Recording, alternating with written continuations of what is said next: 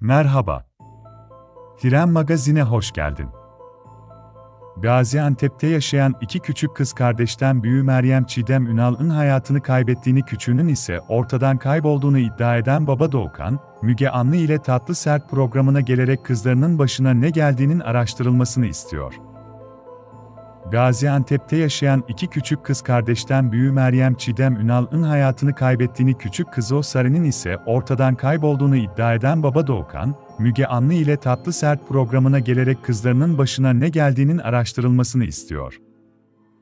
Kızının düşerek beyin kanaması sonucu öldüğünü iddia eden ve eşine inanmayan baba Doğukan olayın araştırılmasını istiyor. Almanya'da yaşayan Ankaralı aile, Ünal kardeşlere ne olduğunun araştırılmasını istiyor.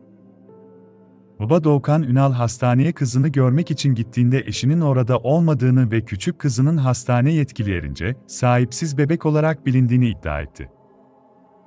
Doktorların çocuğun hastaneye çok geç getirildiğini ve çok bekletildiğini, beyninde oksijenin bittiğini söylediklerini iddia eden aile gerçeğin ortaya çıkmasını istiyor.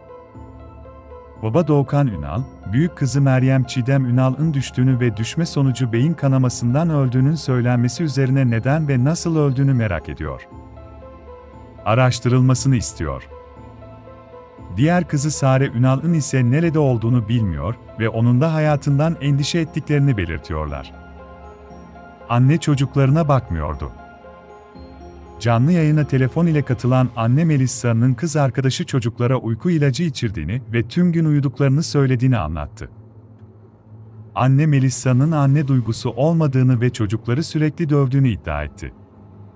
Çocuklarının altını bez değiştirme işlemini sevgilisi olan kişinin değiştirdiğini iddia etti.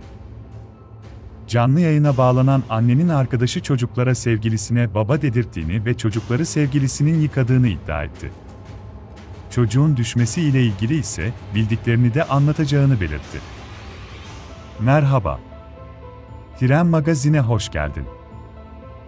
Gaziantep'te yaşayan iki küçük kız kardeşten büyüğü Meryem Çiğdem Ünal'ın hayatını kaybettiğini küçüğünün ise ortadan kaybolduğunu iddia eden baba Doğukan, Müge Anlı ile Tatlı Sert programına gelerek kızlarının başına ne geldiğinin araştırılmasını istiyor.